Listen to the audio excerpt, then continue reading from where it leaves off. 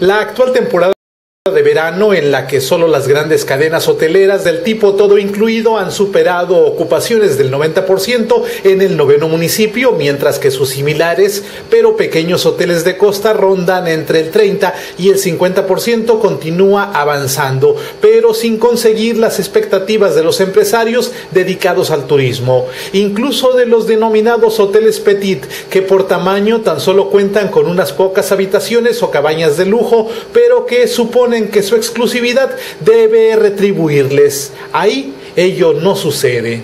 Yo los invito a que salgan a la playa, caminen por la playa y dense cuenta cuánta gente hay en Tulum. Creo que es la temporada más baja de los últimos años que se está viviendo ahorita. No hay gente en la playa.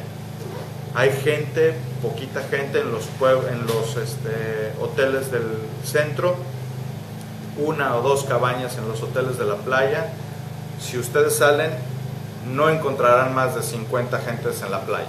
En una temporada donde era la temporada más alta del año de Tulum, siempre Creo que eso es crítico y eso hay que tomarlo en cuenta. Las cifras oficiales de la Dirección de Turismo Municipal sostienen una ocupación promedio del 56%, pero las ocupaciones han sido muy dispares y mientras que el flujo turístico se concentra en las grandes cadenas hoteleras y la zona de la Riviera Maya de Tulum, es decir, de Chemuyil y Acumal, la zona sur de costa de la cabecera municipal es la de menor afluencia de visitantes.